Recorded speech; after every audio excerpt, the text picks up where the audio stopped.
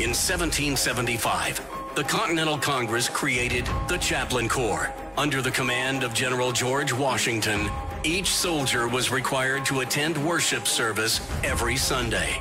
While other armies advanced on their feet, Washington's troops advanced on their knees. It's time for the Chaplain's Report with Caleb Colquitt on tactics. Our chaplain's report today, we're going to be continuing in the book of 1 Samuel like we have been for quite some time now. We've actually been in the book of Samuel for a while, but we're about halfway through. We're in Samuel chapter 14. And just so you know what's going on here, if you haven't been keeping up with the chaplain's report every day. So, this little episode that we're about to look at, the Philistines have essentially been defeated. They're fleeing in every direction because of something that Jonathan did. He came up and tried to negotiate with them and probably by providence, I think that there's no other way to explain it. The Philistines became terrified, thinking that Jonathan was hiding a whole bunch of men in, in holes there in the hills that he was coming out of, and they freaked out and ran. Uh, so this happens, and the Philistines have been largely defeated. They're still pursuing some of their forces, but basically, Israel's already won the day. Everybody's celebrating, everybody's happy. They are now pursuing their enemies, but the, the Philistines are in full retreat and Israel has basically already run the battle. They're just trying to follow up here.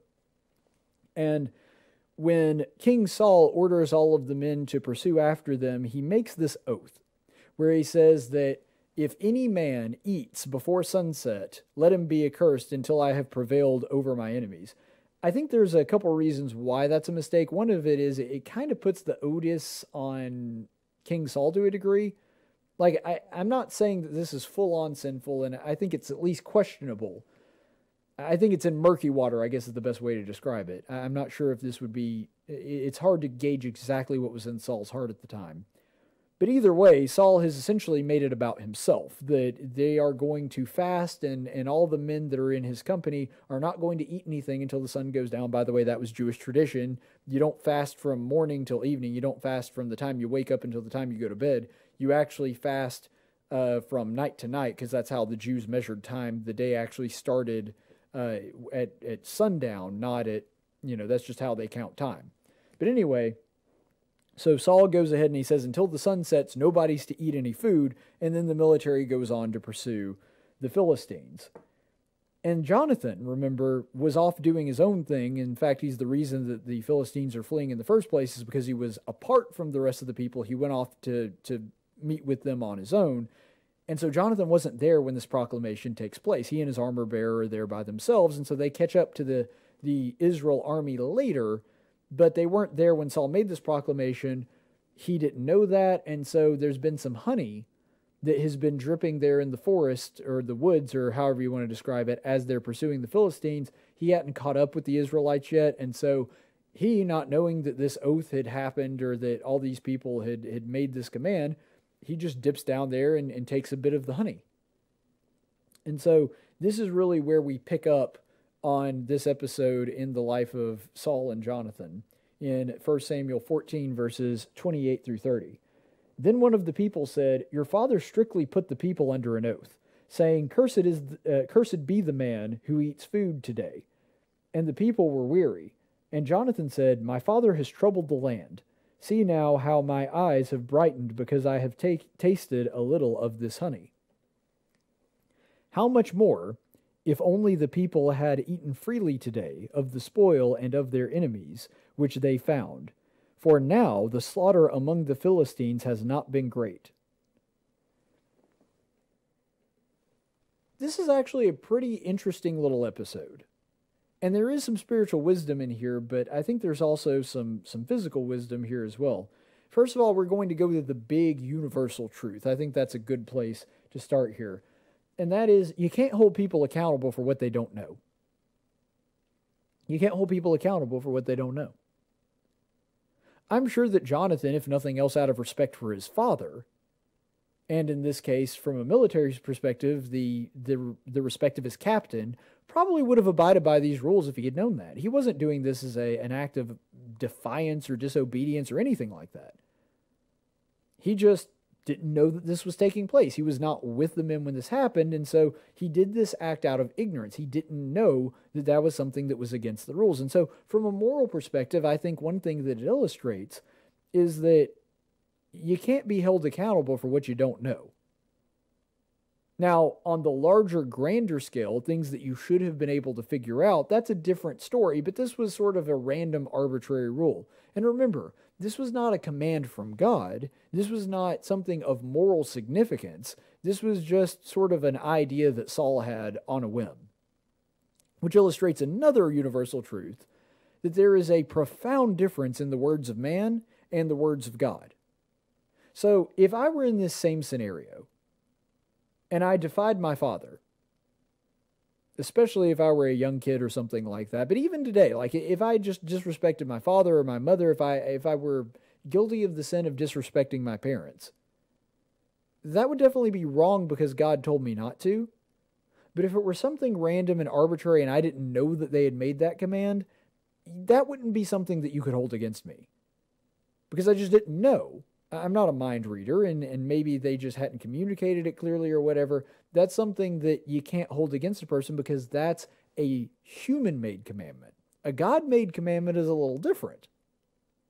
And so that's one of the universal truths that it illustrates is that you can't hold Jonathan accountable for him not knowing that Saul had already made this oath. And so when he goes ahead and does this, you know, Jonathan is essentially held blameless when that takes place.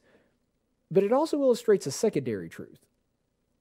Because you'll notice that one of the things that Jonathan is saying is, you know, our slaughter of the Philistines has not been great. Think about this. And Jonathan is pretty much the sole reason, of course, with God's help, but Jonathan is pretty much the sole reason the Philistines are even in full retreat. And what does he make note of there when he hears about this oath? He says, Wait, Dad really told everybody that no one's allowed to eat until the day's over?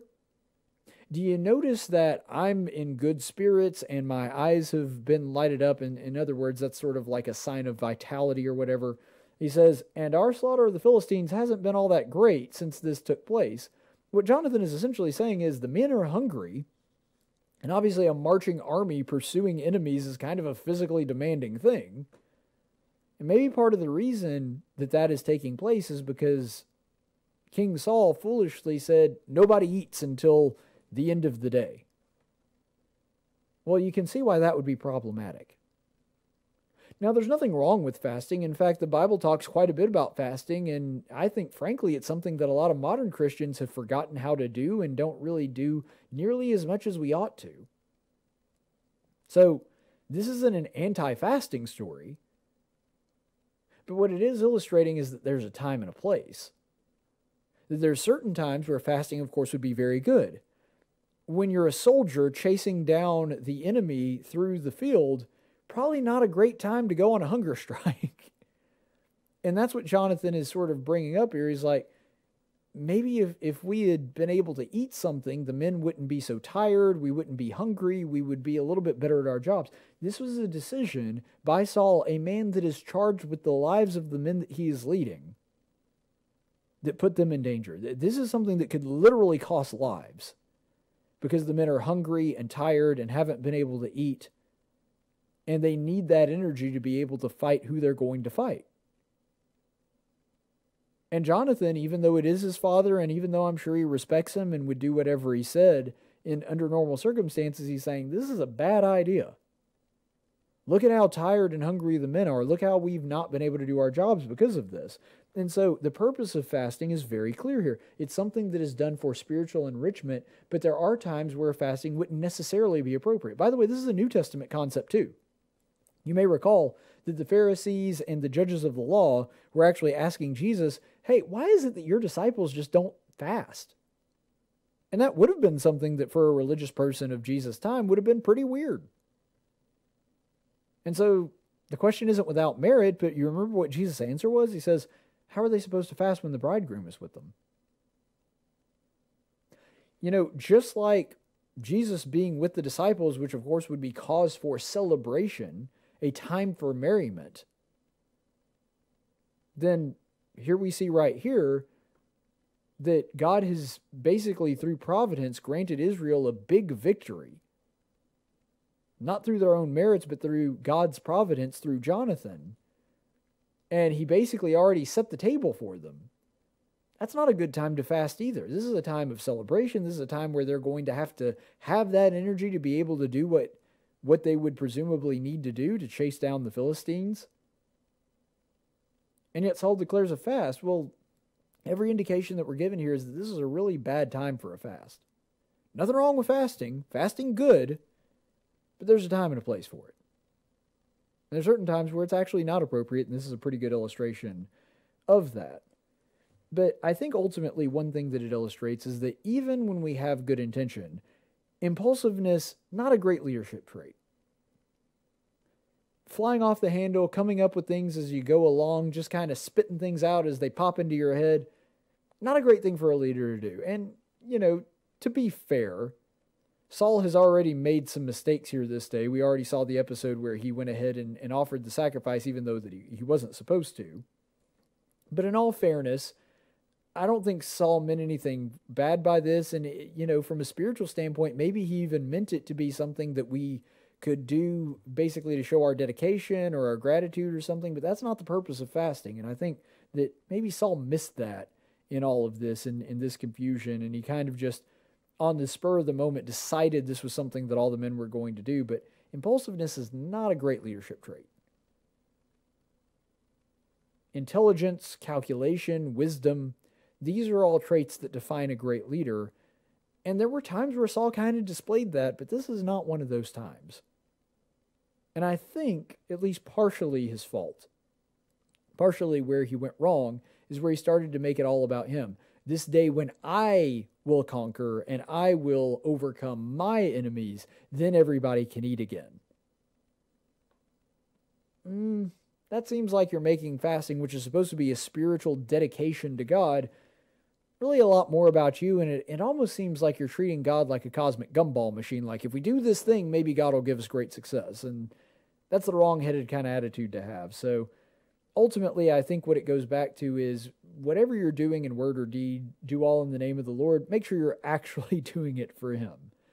Make sure that when you do something, because there are some things, spiritual things, that uh, it may not be a good idea to fast around either. I know personally, and I don't want to get too personal here, but uh, when I'm about to do a big sermon or something like that, that's not a time of fasting for me. I might fast in preparation of the sermon, but the actual delivery of it, I could get distracted by being hungry. And so I can't fast when, you know, I'm about to step up to the podium.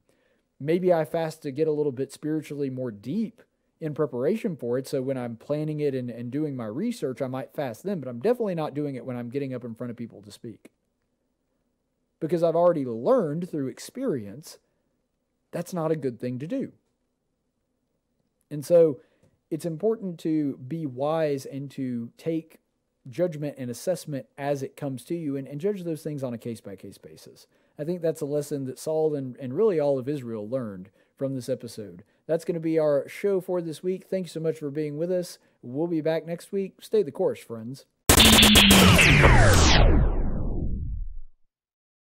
My mother always said if you can't say something nice about somebody, then you're probably talking about a leftist.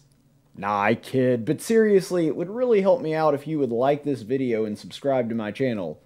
I'm sure my mom would appreciate it.